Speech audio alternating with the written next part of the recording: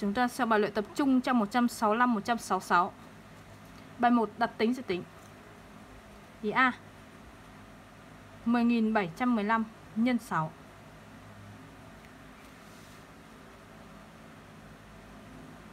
sáu nhân năm ba mươi với không nhiều ba sáu nhân một bằng một bằng sáu, thêm ba bằng chín viết chín sáu nhân bảy bằng bốn mươi hai viết hai như bốn sáu nhân không bằng không, thêm bốn bằng bốn viết bốn sáu nhân một bằng sáu viết sáu 3.755 chia 5 30 chia 5 bằng 6 Được 6 6 x 5 bằng 30 30 trừ 30 bằng 0 Hạ 7 7 chia 5 được 1 1 x 5 bằng 5 7 trừ 5 bằng 2 Hạ 5 được 25 25 chia 5 được 5 5 x 5 bằng 25 25 trừ 25 bằng 0 Hạ 5 5 chia 5 được 1 1 x 5 bằng 5 5 trừ 5 bằng 0 B. 21.542 nhân 3 3 nhân 2 bằng 6 với 6 3 nhân 4 bằng 12 với 2 nhớ 1 3 nhân 5 bằng 15 thêm 1 bằng 16 với 6 nhớ 1 3 nhân 1 bằng 3 thêm 1 bằng 4 3 nhân 2 bằng 6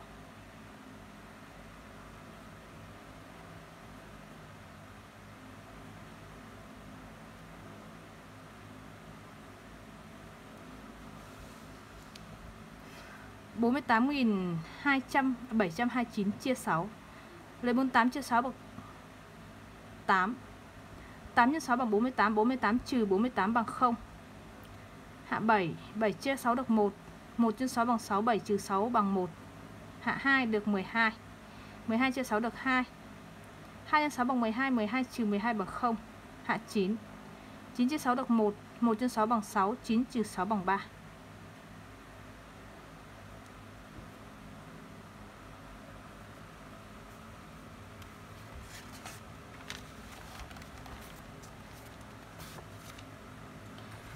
Bài 2 Trang 166 Nhà trường mua 105 hộp bánh, Mỗi hộp có 4 cái bánh.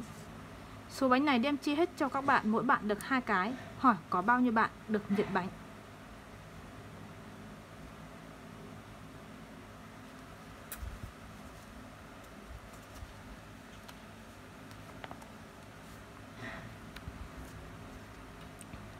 Có tất cả là 105 hộp bánh, mỗi hộp bánh thì có từng này cái, 4 cái. Bây giờ đem tất cả số bánh này để chia cho các bạn. Mỗi bạn được hai cái thì được bao nhiêu cái bánh? Thì có bao nhiêu bạn được bánh, đúng không? Mỗi bạn được hai cái thì được chia được cho bao nhiêu bạn đấy. Như vậy, muốn biết là chia được cho bao nhiêu bạn hay là bao nhiêu bạn được nhận bánh thì ta sẽ lấy tổng số bánh chia cho số bánh mỗi bạn nhận được. Mỗi bạn nhận được là hai cái. Vậy ta sẽ chia cho số bánh mà mỗi bạn nhận được thì sẽ ra số bạn được nhận bánh. Như vậy, ta phải tìm xem tổng số 105 hộp bánh này là bao nhiêu cái bánh. Biết mỗi hộp là 4 cái, vậy thì 105 hộp là bao nhiêu cái? Sau đó ta lấy tổng số cái bánh đó, chia cho số cái bánh mà một bạn nhận được là hai cái đây, thì sẽ ra số bạn được nhận bánh. Như vậy, bài này chúng ta sẽ làm bằng hai phép tính theo tính thứ nhất chúng ta sẽ tìm tổng số bánh trong 105 hộp là bao nhiêu cái. Sau đó tìm xem bao nhiêu bạn được nhận bánh.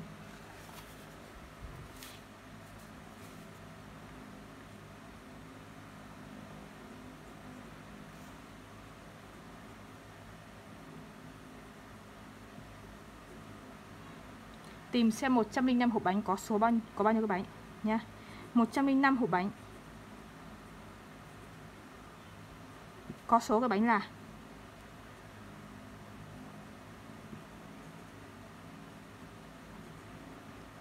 Biết mỗi hộp là 4 cái, vậy thì ta sẽ lấy số cái ở một hộp là 4 nhân với 105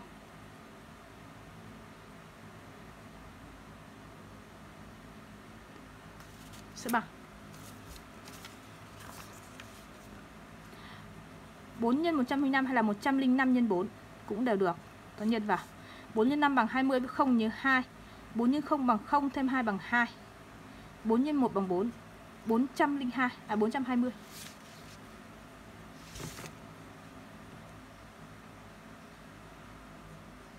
420 cái bánh. Bây giờ mỗi bạn thì được nhận hai cái, Vậy thì bao nhiêu bạn sẽ nhận được cái bánh? Ta sẽ có số bạn được nhận bánh là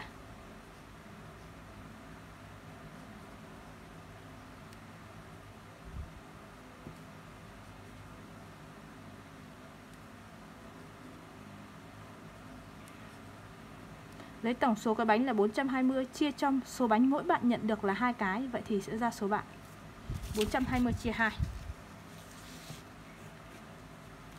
2 4 chia 2 được 2, 2 nhân 2 bằng 4, 4 trừ 4 bằng 0, hạ 2. 2 chia 2 được 1, 1 nhân 2 bằng 2, 2 trừ 2 bằng 0. Hạ 0, 0 chia 2 được 0. 0 nhân 2 bằng 0, 0 trừ 0 bằng 0. 210. Ở đây là bạn đúng không? Số bạn phải là bạn. Đáp số là 210 bạn.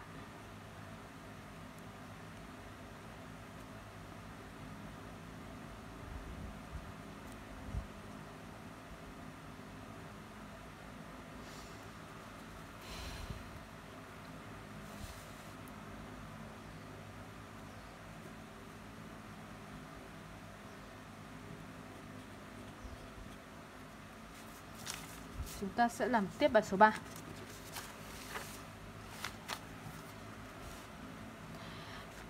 Một hình chữ nhật có chiều dài 12cm, chiều rộng bằng 1 phần 3 chiều dài Tính diện tích hình đó.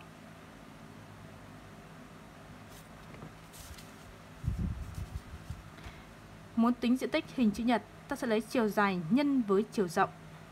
Chiều dài là 12cm rồi, chiều rộng chưa biết, chỉ biết chiều rộng bằng 1 phần 3 chiều dài Như vậy, để tính được diện tích thì ta phải tính được chiều rộng đã, thì mới có chiều rộng để nhân vào, đúng không? Vậy thì bài này chúng ta cũng làm bằng hai phép tính. Phép tính thứ nhất, chúng ta sẽ tính chiều rộng.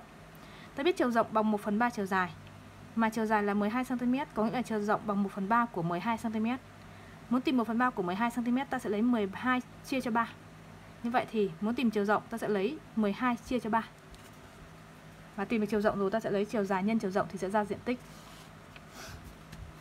Ta sẽ làm bài tóm tắt được.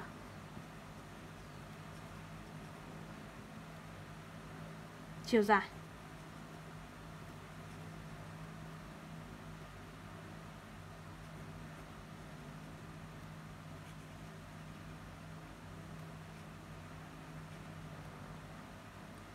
Chiều rộng bằng 1 phần 3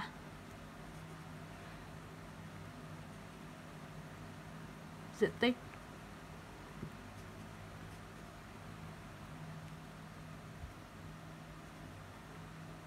Giờ cm vuông.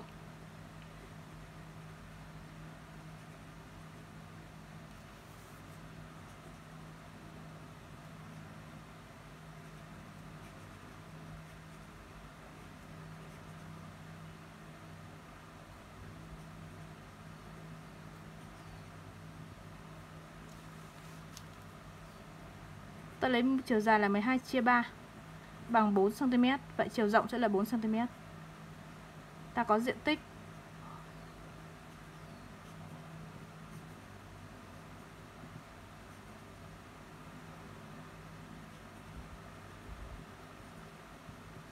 Sẽ bằng chiều dài là 12 nhân chiều rộng là 4 bằng. 4 x 2 bằng 8 4 x 1 bằng 4 đơn vị diện tích nó sẽ là chiều dài chiều rộng là cm và đơn vị diện tích nó sẽ là cm vuông.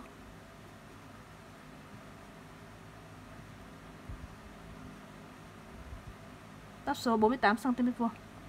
Bạn nào mà ra 48 cm là sai. Chú ý đơn vị diện tích.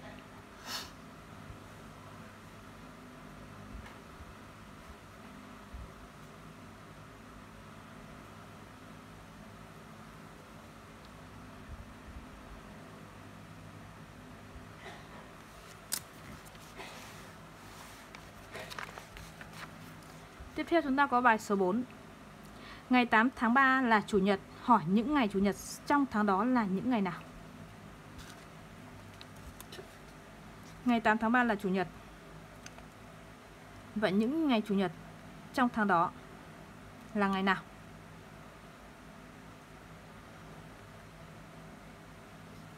Ta biết tháng 3 là tháng có nào? 1, 2, 3 Tháng có 31 ngày. Vậy ta sẽ tính xem từ chủ nhật này đến chủ nhật kia chính là tròn một tuần, là 7 ngày, một tuần có 7 ngày. Vậy từ chủ nhật này đến chủ nhật tuần sau, nó sẽ là 7 ngày. Như vậy thì hôm nay là ngày 8 vậy thì ta sẽ cộng thêm 7 ngày nữa thì nó sẽ ra chủ nhật sau nữa. Và sau đó ta lại cộng thêm 7 nữa thì nó ra, sẽ ra chủ nhật nữa. Vậy ta sẽ có là ngày 8 rồi, đúng không? Ta cộng thêm 7 đúng không? Thì nó sẽ bằng là ngày 15 vậy là ngày thứ nhất, là ngày 8 tháng 3 là chủ nhật rồi. Tiếp theo ngày 15 sẽ là chủ nhật. Sau ngày 15 sẽ là ngày 15 cộng 7 nữa sẽ bằng ngày 22 Tiếp theo ngày 22 Ta cộng thêm 7 nữa Sẽ là 29 Như vậy ta sẽ có các ngày Chủ nhật.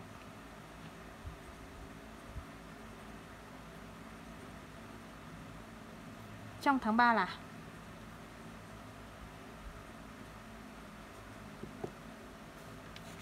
Ngày 8 Ngày 15 Ngày 22 Và ngày 29